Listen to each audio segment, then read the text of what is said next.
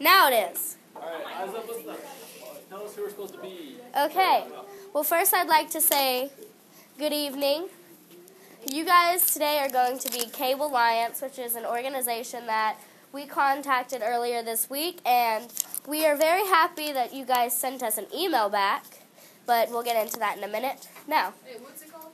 K Alliance. How do you spell that? K W I L L I A N C E. Dot org. Also be on the slide. Repeat. Here. Can you write it on? Click over here. Okay. you want- K W I L L I A N C E. It's also going to be on that one of our slides. Yeah, it's also going to be on one of the slides if you don't get it right now. Okay. Now, how many of you can say that science class is your number one favorite subject for always, for life, every single year? No, just this year. Just this year. You don't have to lie for Mr. Wampler, you guys. Okay. Do you guys remember when science used to be really, really fun and they'd roll in that old 11 inch TV and we'd always sing Bill Nye and there'd always be that one annoying kid who always shouted the Bill, Bill, Bill part? Well, why can't we make this fun? Wait, what? The play? You have to turn it up.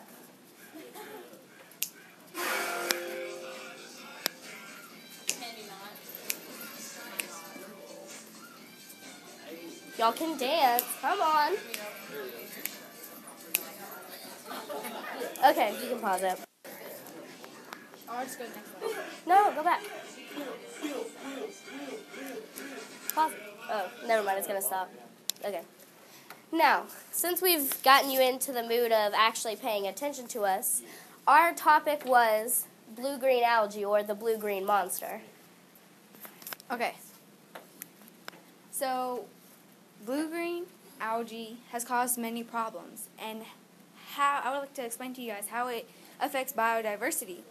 Biodiversity affects it because it affects the animals and the plant life. Blue green algae floats on the top of the water, and and the sunlight, photosynthesis doesn't get into the water, and it blocks the sunlight, so the plants underneath can't grow, and fish can, and when fish try to eat the plant, the plants have blue green algae algae on them. That's how it's affecting biodiversity. How it's affecting ecosystem services? Well, there's no photosynthesis. The sun can't reach the plants.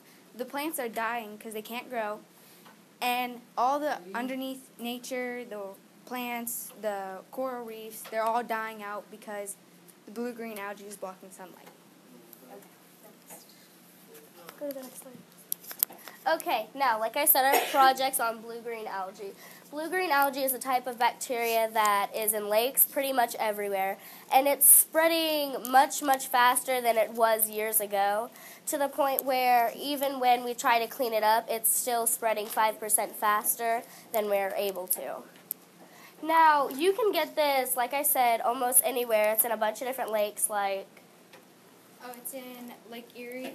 It's in Lake uh, Washita. It's in di- many different small lakes that are around um, Kentucky and all the different states in the United States. Now, ingesting this water or swimming in it can lead to you experiencing some forms of lung cancer, in the worst cases, heart failure, scarring in tissue, and for animals, in most cases, it leads to death and really, really bad stomach problems. Oh, no, she can. Oh, so um, I had a question. Yeah. I was wondering um, if you can name off any specific um, areas of the world, like oceans, that have a big problem. Well, typically oceans don't have as much blue-green algae because it likes to go to smaller, like lakes that you know, the, are usually around people so that it can grow faster and it can all be together because when it's spread out, it doesn't face as much of a problem. um, we'll talk about in our next slide how. Yeah, if we could hold close to the end, probably be good. Okay, next. Now, how many of you have ever seen a lake like this? Well, this is actually a really big problem because, like she said, it's killing all of the plants except for the ones that grow directly out of the bottom. and it's really not safe for animals or humans. But most of the time, when people hear the word algae and lake, they automatically assume, well, all lakes have algae, so it's not a problem. But there are many different kinds, and blue green algae faces the biggest threat. Okay, so we have a story. You can read this, but I'm basically just going to summarize it for you. So there's this lady, Shirley Schultz, and she lived on a lake for over 30 years. And she went swimming one day, and there was in the lake a huge problem of blue green algae. and with the problem with blue green algae, she, she swam, and then she got out of the water, and she sat there for maybe 20, 24 hours, and her legs started getting red. So then she went to a doctor. And when she went to the doctor, the doctor told her it might be a symptom of blue green algae. Later on, after another 24 hours, all the bacteria that was inside the blue green algae ate away all the skin on her leg. And most of her friends said to her, Well, why did that happen? I don't understand. You've lived on that lake for 30 years. She said, Well, I have also lived on the lake for 30 years, but this has never occurred to me. And so she says, she said that mainly blue green algae she believed, thought that it was just another algae. Algae can swim in it. It's something that fish eat. Well, it's not. Blue green algae is actually causes harm to you and harm to animals. So we have a video that um, explains a case where it affected an animal. A really nice one. That was cute.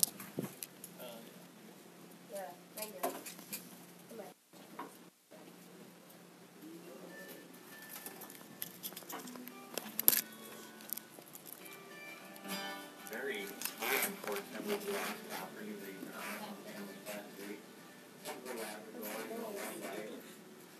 Hitachi family in the sunny June Sunday afternoon at home, Prairie Lake in Sherburne County. Shortly after throwing a few tennis balls to the dog, suddenly headed up to the shoreline and collapsed. At that point, you could tell he was under uh, great distress. The veterinarian who treated Copper believes he died after ingesting toxins related to blue-green algae. It was unique that day, I guess. Uh, just from the standpoint, we noticed these clouds of green slime. Unique combination of Mother Nature and events, I guess. We've had a, a lot of rainfall recently. Uh, the lake's come up probably two and a half feet uh, just since the spring. Some species of blue-green algae contain potent toxins that can be deadly to dogs, livestock, and other animals within hours of contact. In this case, most of the visible algae on Prairie Lake was not considered a full blue-green bloom. But Minnesota Pollution Control Agency staff did find some blue-green algae within samples taken from the lake.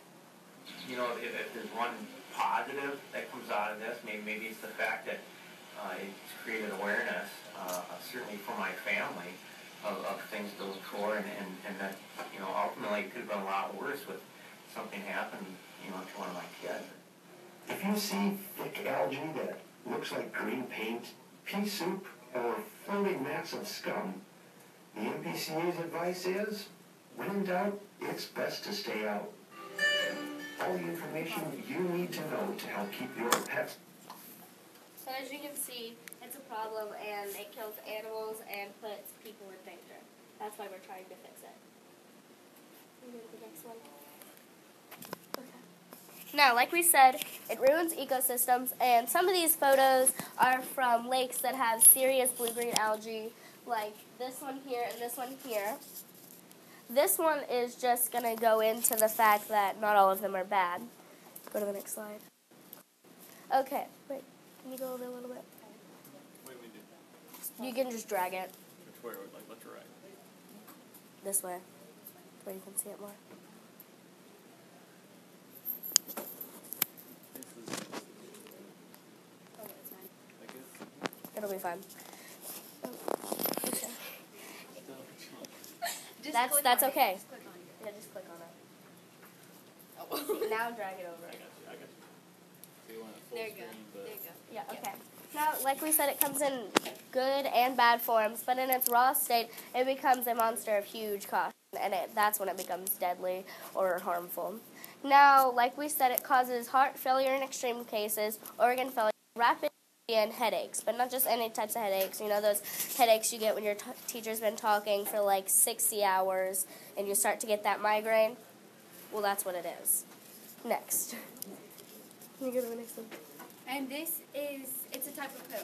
Yeah. And blue green algae, when it's dried out, it helps scare away allergies and headaches. But we'll go into that. Okay. Stop. Go back. Me, Stop it. Stop it. Now, it kills pets, mostly like animals that like to swim, like dogs, ducks, or anything that can go in the water or ingest it around. And 56% of animals that have been reported to the hospital with blue green algae live around these lakes. And I think 11% of them end up dying because of organ failure. Next. But there is a solution. Spirulina is a type of blue-green algae that is healthy after it's been filtered, and there are vitamins that get added to it and poisonous factors that get taken out of it to where it becomes a superfood. And in some cases, it can even cure like spring allergies to dust and pollen. So it's not all bad. Next. Okay, they had they had some expert solutions, but all the expert solutions were basically based on you. So you had to do things to get rid of it. There was no scientific so there were no scientists involved getting rid of it. So here are some of the key points. One was maintaining a na- native vegetation along shorelines as buffer areas. So you would have non you would not have non-native plants there to because if it rained, it would wash out all the um, bacteria, and that went into the water, causing problem. You would also minimize activities that result in erosion, reduce the amount of fertilizer used on lawns. So when you put out fertilizer, it would go into the sewage, and the sewage would get washed out into the water and create that blue blue green algae. Also, you'd fix your le- uh, leaking septic tanks systems, and um, use only uh, phosphorus free fertilizer when possible. That's the type of fertilizer that doesn't cause blue green algae. These are some of the solutions that they said. Uh, here, these were the only expert solutions that they had on fixing blue green algae. Okay. We picked this problem because it's spreading rapidly, like I had said. But we can't just tell people about it and spread awareness about it, but that's worth a try. So we figured we'd start a petition on change.org so we could help clean lakes with blue green algae. And I also contacted you guys, Cave Alliance, and asked if you could help us with cleaning the Kentucky area so we didn't have to deal with losing any of our people in this area or animals to the algae. And past that point, I forgot to update this. You guys actually did email me back saying that you'd love to hear more about it and you'd love to talk to us more about it, and we're pretty excited about that still. Next. So when we contacted you guys, we explained to you this, but some of you guys I know weren't paying attention. So we, the idea started up with researching. And so we first decided we're just going to get a crew of volunteers to clean up the lake. But how are we supposed to do that with a net? Well, if we have a net, it would just get stuck in the net and also ca- catch animals and plants. So then we decided, we figured out, once we watched that video, if you saw in the video that blue green algae stuck stuck to the skin, did you see that where he had the hand open like this? Well, we decided if we got artificial skin and put it around the borders of the lake, then the blue green algae would stick to that, and we would collect that, the blue green algae that was stuck to the artificial skin, and collect it and dry it out to make um, nutrient food and pills. Now, the reason why our solution would be the best because we've come up with two different ways of our solution, but we figured that this one would be the best because the other one, like in you know where they were getting rid of water pollution and they were taking the net, how it was not only scaring fish but collecting them. Well, we picked the artificial skin because of that, but we also wanted to make sure that we didn't just run the artificial skin across the lake because that'd be more time consuming it would take more money and it could scare the fish and we wanted something that'd be the most eco-friendly so we put it around the borders next So, in our conclusion, this is a big problem. And it's not only an ecosystem, uh, it's not only fixing allergies, but it's also helping the whole entire ecosystem. Fixing blue-green algae fixes the water so people can swim in it, so that people, the beaches will have money, and the lakes will have money to get people going on these lakes. With blue-green algae, you won't be able to go onto these lakes because it's dangerous. It also um, doesn't. Um, it also fixes the problem of fish that are helping uh, have plants grow and also helping plants grow and Wait, can you go back really quick? Okay. And like we said, another reason why you should like not only to clean up the lakes of Kentucky, another reason why you should help with being our organization is because we're fixing the problems and we're making money while doing it. Because even Miss O'Connell buys a type of blue-green algae that we make into a superfood called spirulina. so in Next. the end, we hope it's fixing everything. Yeah. So, of course, we're Brooke and Sarah. Sarah got a little too excited when we started talking. Hey, you want to be excited anyway. Next. And then this was us at 3 a.m. in the Mexican restaurant eating and thinking about our project.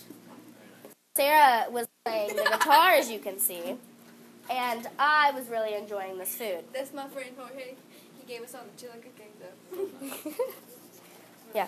Sweet. Alright, Okay. Any questions? Any questions? Hannah? Uh, Um, how long, do you know how long it would take for, um, a lake to be cleaned up and happy? The borders, we would be going back each month cleaning off the artificial. And since we contacted you guys, a part of your website is talking about how you have a bunch of volunteers and people who pay so you can clean. And we just figured that it would be easier to go back once a month than just waiting for it all to come back. So And also, come on. Many people have not tried this solution by cleaning it up. It's, I've researched that it's been here. It might not seem like it, but it's been on Earth 3.5 billion years. Okay, Trevor? How are you actually like gonna go like? And so it's all around the border, right, of the lake. Yeah. How are you supposed to clean it up? Because the more and more it comes onto the artificial skin, it sticks to it. So we basically we take the skin, we will pull, pull it out of the water, and we clean it completely, while of course being safe and wearing gloves and keeping protection so we don't get sick. And once we clean it, we take it to the factories that make the allergy pills and the algae pills and the superfoods. Michael. You said that it was growing faster. Well, how? Why is it growing faster? Because it, each time it spreads to a different lake, it, it goes on to fish and fish swim around the lake.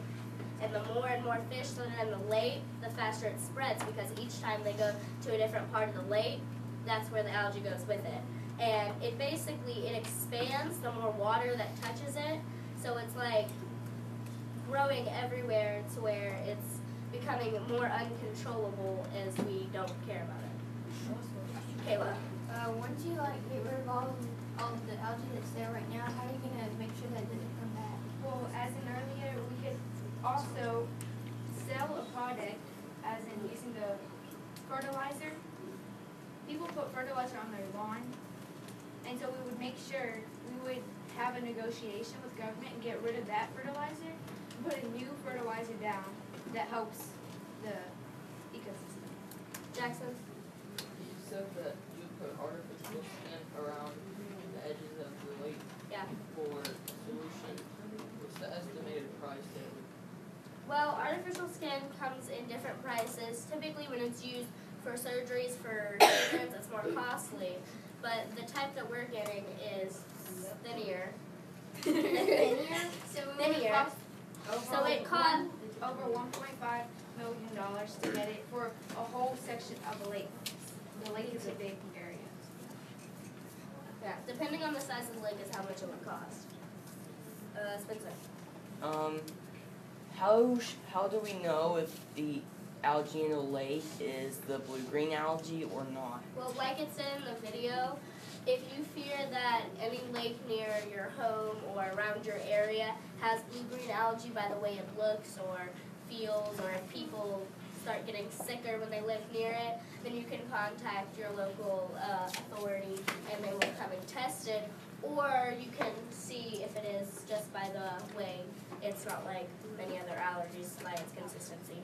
Karen? Last three questions. If you already asked a question and done, you gotta get going, guys. tell us the cascading effect in the ecosystem because of this? Hmm? I didn't. Can you tell us the cascading effect in the ecosystem because of this? Well, basically, what's happening to the ecosystem is the fact that the more blue-green algae, the more it rises to the top and it surrounds the lake. Because with this algae, it doesn't fall to the bottom of the lake. So the plants that grow from the bottom of the lake and the fish that live there aren't getting the sunlight for it. And when plants don't get sunlight, they die. And when fish can't eat the plants because the plants are dead, the fish die. And when smaller fish die that eat the plants, bigger fish die. And it's basically killing the whole ecosystem of the lake or the pond that it's in because it ends up being the only thing that's left there. What are the fish that eat the plants? I already said that they die because they can't eat the plants. I said, what other fish that eat the plants? Many different fish that live.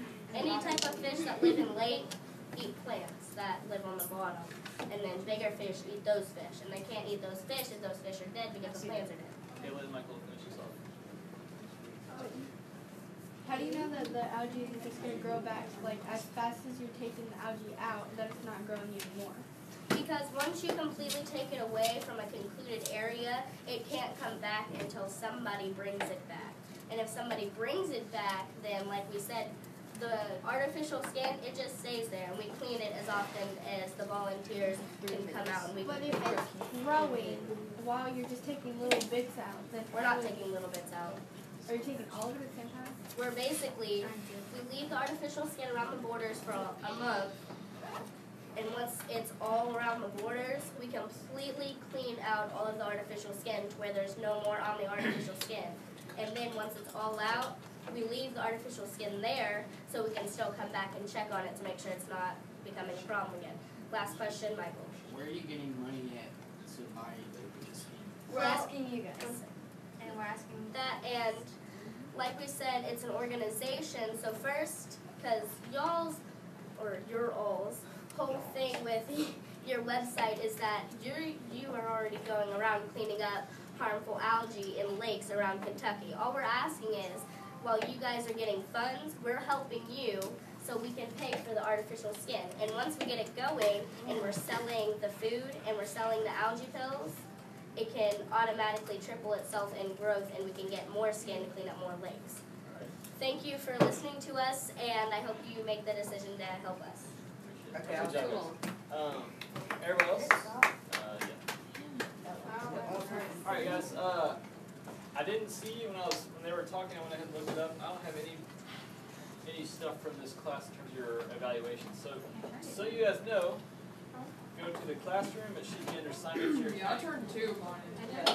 I turned the first one in. I Alright, I'll turned just two in. refresh and see, but make sure you get your evaluation in for Brooke and Sarah, and we will go from there. I'll dismiss you guys in uh, about a minute. So we presenting tomorrow? Yes, first thing. So we'll start with June and Kayla tomorrow. In our class, we got two presentations. Hey, you got the dance film live. Three, two, one. Ah! That Wait till tomorrow. that was. Besides that, you probably did all the work already. No, I didn't. Jaden, didn't you help? Jaden, no. Mr. Wampler, you might want to press the little red button on the thing. It's still recording. Oh, that's right. Thanks, make sure you're